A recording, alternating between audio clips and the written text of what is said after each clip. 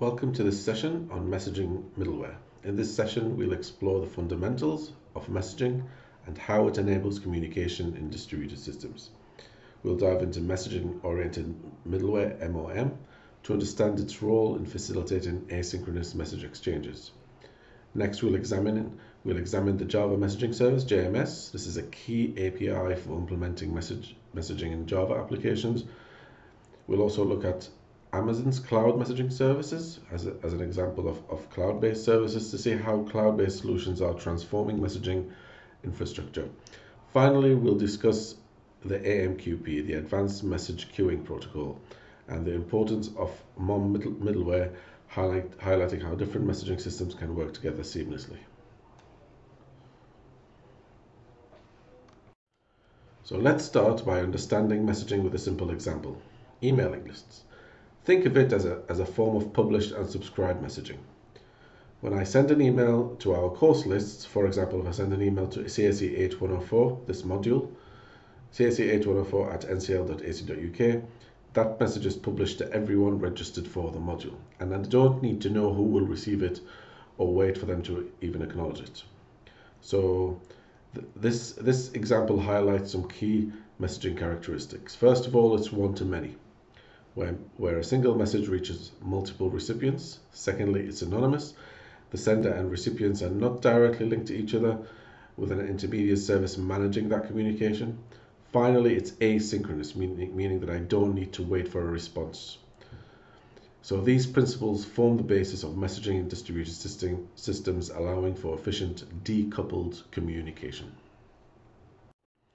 To understand message-oriented middleware, Let's first recap object-oriented middleware. In all middleware, communication is often unicast, meaning it's one-to-one -one between a client and the server. There's typically one operation executed at a time, and both the sender and the receiver need to be aware of each other and be active simultaneously. In contrast, message-oriented middleware supports multi multicast requests, allowing messages to be sent to multiple components or groups at the same time is designed to handle multiple operations in parallel. Um, message-oriented middleware is anonymous, meaning the sender doesn't need to know the recipients and they don't have to be active at the same time. This suits systems that need loose integration, where components operate independently. Message-oriented middleware can also use typed messages, allowing request-reply patterns to be managed more effectively. So this shift from direct to loose coupled communication enables scalable, flexible architectures within distributed systems. The motivation behind using message-oriented middleware stems from the need to handle events generated by various applications. So many systems today constantly produce messages. For example, stock quotations, advertisements, buy and sell offers, weather updates, traffic conditions, and so on. These events often need to be consumed by other applications. For example, a stockbroker application might consume stock price updates um, based on certain conditions and then generate sell or uh, buy recommendations.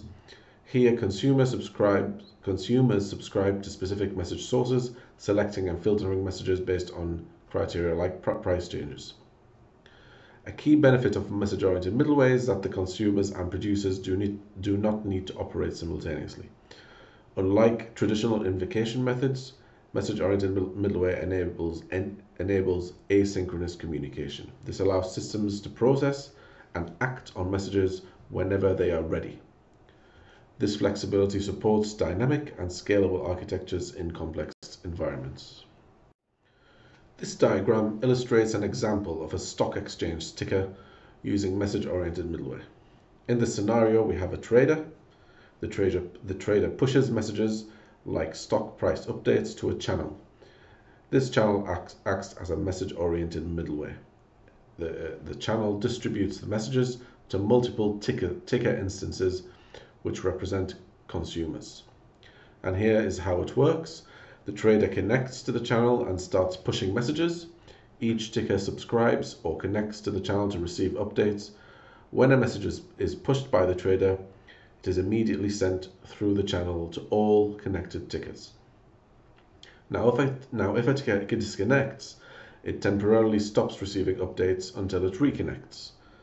So notice that as with message-oriented middleware, this setup allows asynchronous communication where a trader and the tickers or the consumers do not need to be synchronized in real time.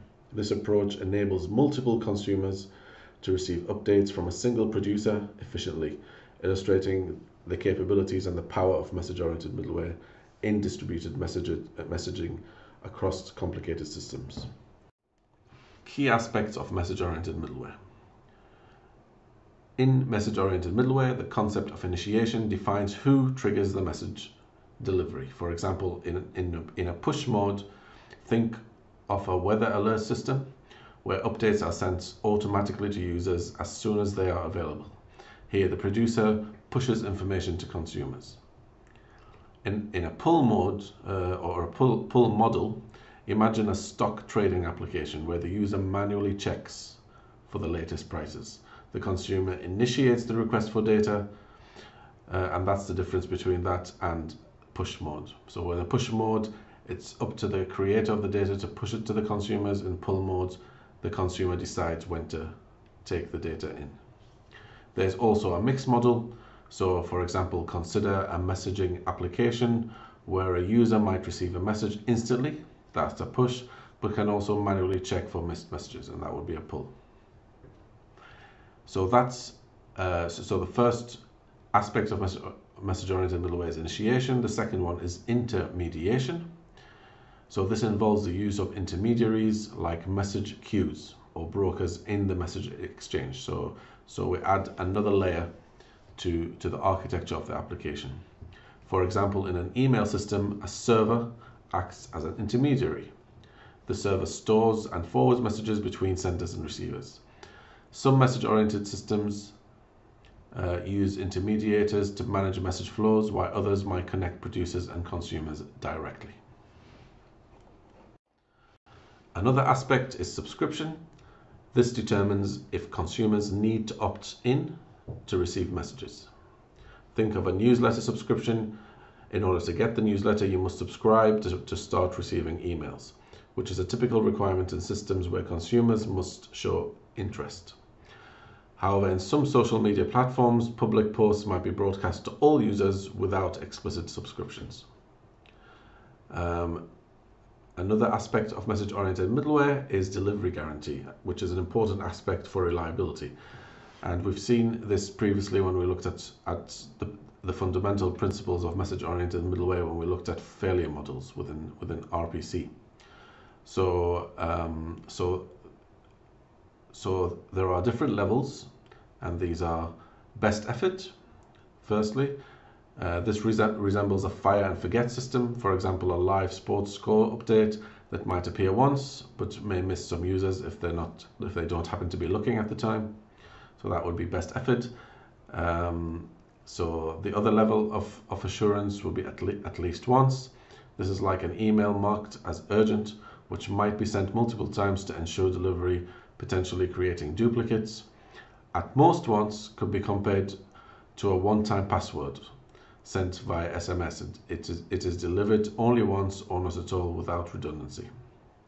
Exactly once is the most reliable, like a payment confirmation that must be received precisely once to avoid double charges or missed receipt, receipts. Other important aspects of message-oriented middleware are persistence. This determines how messages are stored uh, for example, in a bank transaction systems, uh, persistent messages like transaction records are saved to stable storage to survive system crashes and ensure data reliability. Temporary messages, on the other hand, might be used for something less critical, um, like uh, like chat messages in a live support system that disappear after a session and aren't saved. Finally, filtering allows systems to manage messages, uh, message flow intelligently. Consider for, consider, for example, a news application that filters updates based on certain user preferences. For example, only sports news for sports enthusiasts or finance updates for investors. Filters can be applied by message type, timestamp, or other criteria, allowing the system to deliver relevant messages while ignoring other messages.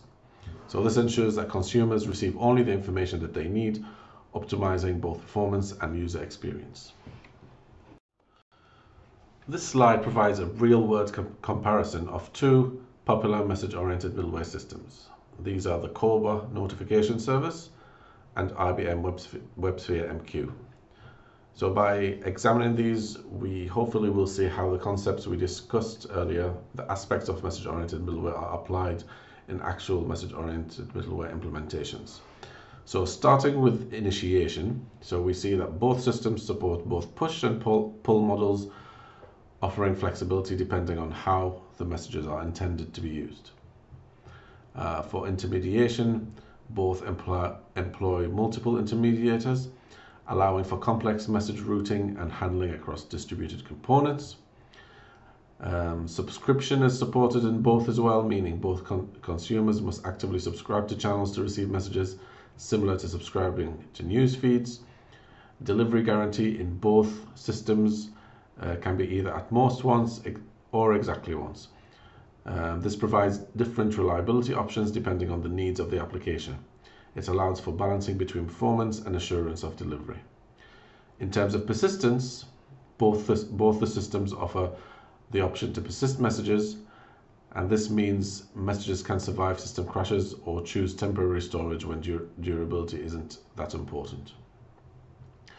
Finally, filtering capabilities in both systems allow filtering by header, type, or content. This enables message delivery to be tailored according to the specific criteria, um, like only receiving updates relevant to a particular stop or type of news. So this comparison shows that while message-oriented middleware systems vary in their implementation, they often share these core important aspects, which gives you a framework to understand and evaluate uh, other middleware systems, hopefully. So as Java programmers, I think it's very important for us to understand uh, the Java messaging service, JMS. Um, so it is a critical component of the Java platform for messaging, especially for enterprise applications.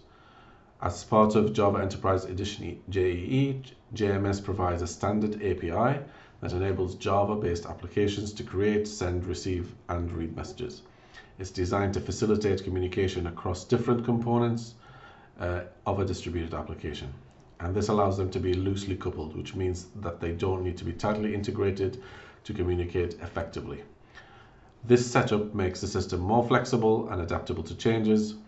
JMS also ensures communication is reliable. Uh, that's because messages can be persistent and it's also asynchronous, meaning that components can send and receive messages independently without waiting on each other. In enterprise environments, JMS plays an extremely significant role in enabling scalable, resilient architectures, making it essential for anyone working with Java-based distributed systems. It is a key technology and one of the most widely, widely used technologies in message-oriented middleware today. So here we have a diagram that illustrates the architecture of JMS, the Java Messaging Service, at the core of JMS is the JMS server.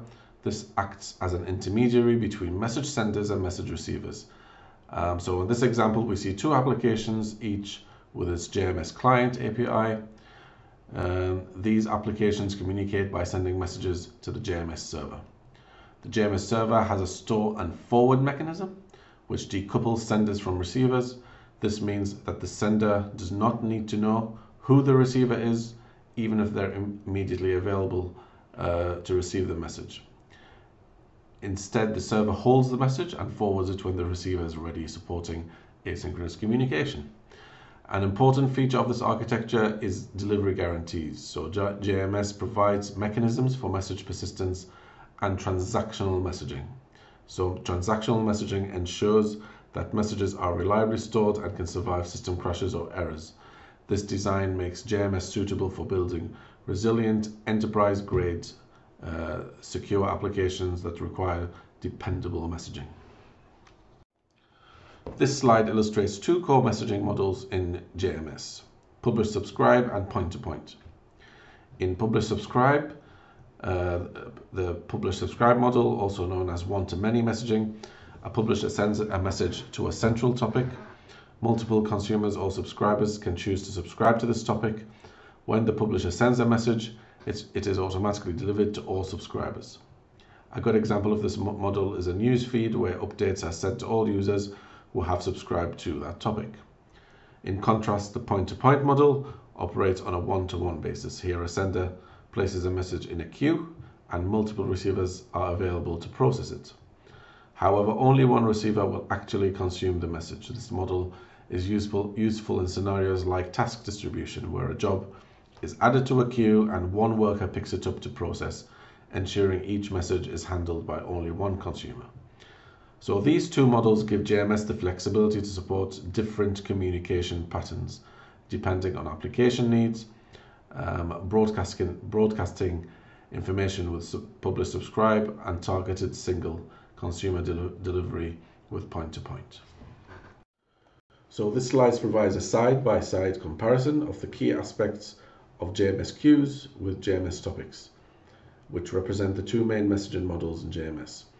Starting with initi initiation, uh, queues support both push and pull models where messages can be pushed to a consumer or pulled as needed. Topics, on the other hand, typically operate in a push only mode where messages are broadcasted to all subscribers automatically. For intermediation, both queues and topics use multiple intermediators, allowing JMS to route messages through complex distributed systems. In terms of subscription, JMS topics supported, meaning consumers must subscribe to a topic to receive messages. Queues, however, do not use a subscription model since they operate on a one-to-one -one basis. Once a message is received, it is no longer available to other consumers. Delivery guarantee is similar for both, with options for at most once, exactly once delivery, uh, or exactly once delivery, ensuring flexibility in message reliability. Persistence is also an option for both, allowing messages to be stored persistently, which is very important for essential data that must survive system failures, or temporary if persistence is not necessary. Finally, filtering is available for both queues and topics, allowing messages to be filtered by, head, by header or by type. This enables uh, more selective message delivery based on specific criteria. criteria. This ensures only relevant messages are delivered to consumers. Um, so this comparison highlights how queues and topics are different and how messages are distributed and consumed. This offers flexibility for various application needs. In this slide, we introduced Amazon Cloud Messaging Services. Uh, these are part of the broader concept of cloud computing. Cloud computing is a model that enables web-based utility computing. In the cloud, applications and services run on shared resources. These are provided by large data centers, allowing for scalability and efficient resource utilization. The cloud offers different delivery models. So the three main known delivery models are software as a service. This is where applications are accessed over the internet and examples of them are Google Apps or Salesforce. Uh, platform as a service. This provides a platform for, to, for developing and deploying applications. Applications. An example of this is the OpenShift platform as a service uh, developed by Red Hat. Uh, also, we have infrastructure as a service. This offers fundamental computing resources like storage and networking. Um, so Amazon Web Services provides infrastructure as a service through services like EC2, for computation and S3 for storage. Amazon also offers cloud messaging services that align with the messaging models that we've discussed. So it, it offers SQS, the, sim the simple queue service. This is a fully managed queuing service that supports asynchronous messaging, uh, asynchronous communication, and is ideal for point-to-point -point messaging. SNS, this is the simple notification service, and is a notification service that enables public publish and subscribe messaging, where messages can be broadcasted to multiple subscribers. So these services allow developers to build scalable decoupled applications in the cloud, um, leveraging Amazon's infrastructure for reliable and efficient messaging. So let's provide a few more details on Amazon's SNS and SQS models for cloud messaging. So starting with SNS, the simple notification service, this is designed for publish subscribe messaging in this model, clients publish messages to a topic and subscribers can register their endpoints, such, uh, such as URLs, to receive these messages. This setup is ideal for broadcasting messages to multiple consumers, like sending alerts or notifications to multiple systems or users. SQS, the simple queuing service, on the other hand, is a queue-based interaction model suitable for point-to-point -point messaging. Messages in SQS are stored in an eventually consistent collection of replicas, which means there are certain trade-offs. So the trade-offs are no ordering guarantee. So that means that messages may not be delivered in the order that they were sent, which is important to consider for applications that need strict sequencing. Uh, also, something to consider is possible duplicate message delivery. So messages may be de delivered more than once to ensure reliability. So consumers need to be uh, so consumers need to be designed to handle potential duplicates. Both SNS and SQS support relatively short messages and use an HTTP query interface, making them easy to integrate into web-based and distributed applications. These models offer flexible options for designing scalable decoupled architectures in the cloud. Let's take a look at the SQS interface, uh, which operates through HTTP requests using URLs with query parameters. These requests are used to manage and interact with queues, providing flexibility and control over message handling. So some of the key actions available Create queue and delete queue allows us to create a new queue or delete an existing one, giving full control over the queue lifecycle. Then we have list queues, lets us retrieve a list of all queues associated with one account, with our account, uh, useful for managing multiple queues in a system. Send message is used to add a message to a queue, enabling asynchronous communication between distributed components. Receive message allows a consumer to retrieve messages from the queue. An example of this in, in URL format is, is the one shown in the slide where parameters specify actions like receiving messages. Delete message removes a message from the queue once it has been processed, ensuring that it won't be uh, re-delivered. So here we explain the SQS messaging lifecycle. Um, so we provide details of how messages are handled within Amazon's SQS service. First, the send message action occurs when a sender places a message labeled here as M into the queue.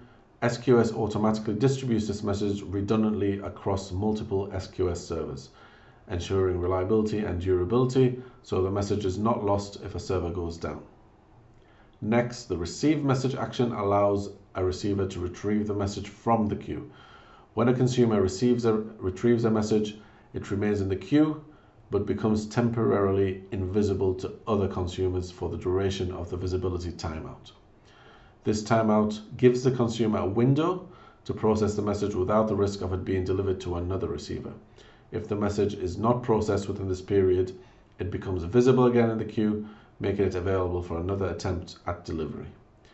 This approach ensures that messages are reliably processed while preventing duplicate processing uh, and this supports robust asynchronous communication within distributed systems in general.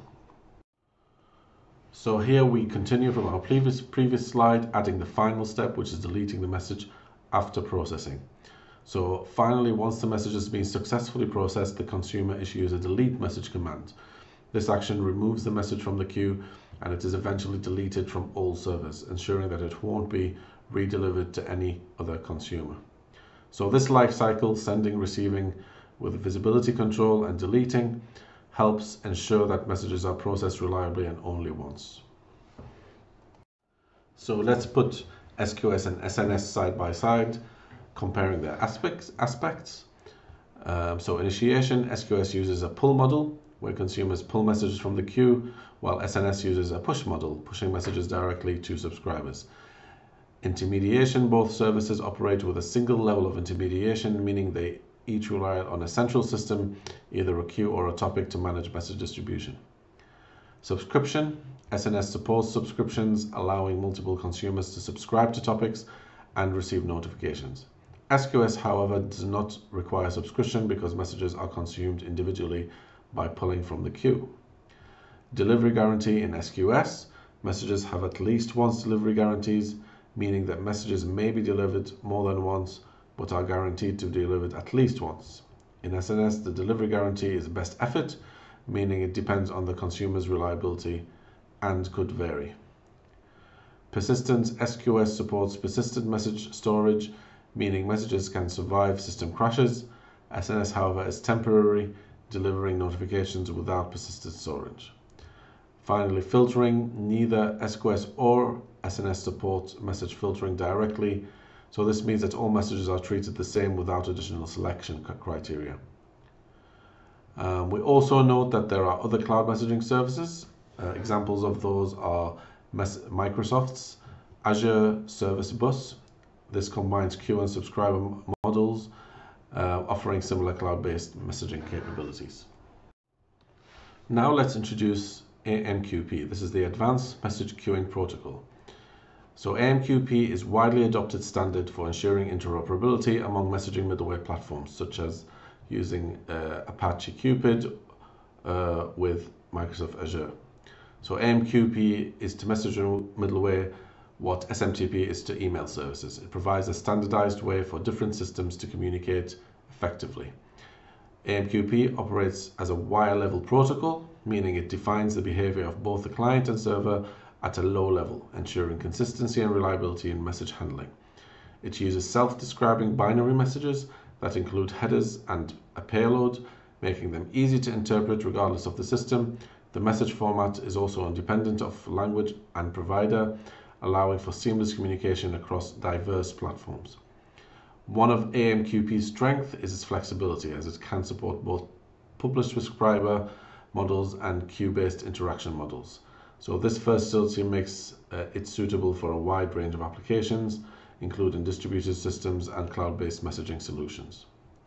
So overall, AMQP standardization enables different messaging services and systems to work together reliably, making it a key protocol in interoperable messaging middleware. So uh, here we summarize the key aspects of AMQP. First of all, intermediation. AMQP supports multiple intermediaries, allowing complex routing and message handling between different systems. Uh, subscriptions are supported. This is essential for published subscribe models where multiple consumers can, can listen to specific, specific message channels. Delivery guarantee AMQP uh, provides flexibility here, allowing for at least once, at most once, or exactly once delivery. So uh, this enables users to choose the level of reliability that best suits their application's needs. Uh, persistence, so messages in AMQP are, persistent, so that means they're, they're stored and can survive system failures, which is very important for applications that require message durability. And finally, filtering. AMQ does allow filtering based on headers, type, and content, giving systems fine-grained control over which messages are delivered to which consumers. Additionally, AMQP messages carry not only the payload, but also processing and routing information. This embedded data enables the middleware to make intelligent routing decisions and enhance messaging uh, interoperability. However, the specific guarantees and behaviors will depend, will depend on the underlying message middleware implemented. Finally, let's take a look at some future considerations uh, in messaging middleware.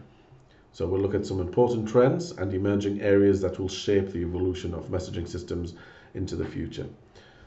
Firstly, IoT messaging protocols. An example of that is MQTT. So these are becoming critical as the Internet of Things expands. IoT devices often operate in environments with limited power and network resources, such as remote sensors or smart home devices. Uh, in such situations, Protocols like MQTT are designed to be lightweight, allowing these devices to communicate efficiently with minimal data overhead. Uh, and this is particularly invaluable in IoT ecosystems where we have thousands of devices that might need to send small messages very frequently. Another important aspect uh, of, of messaging middleware going to the future is message security. Uh, as more sensitive data moves through messaging systems, ensuring security and privacy becomes very important.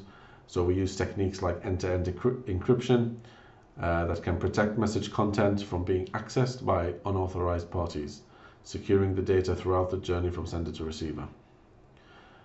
Finally, evolving cloud services. So these are continually being developed, enhancing messaging capabilities, allowing developers to build more advanced and scalable systems. Um, so now cloud providers are offering highly configurable messaging services that integrate with other cloud-based tools. Uh, they support complex message routing and, and provide monitoring and analytical capabilities that provide real-time insights. So these services typically can handle massive scale data, making them suitable for global applications. So as cloud technology evolves, we can expect even more features aimed at simplifying, securing, and scaling message-based communication. In summary, these areas, um, IoT protocols, enhanced security, and evolving cloud services are essential for building modern, modern uh, messaging systems that are efficient, secure, and future ready.